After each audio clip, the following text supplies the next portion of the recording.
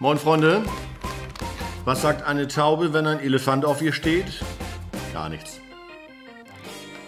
Sie weint nur ein bisschen.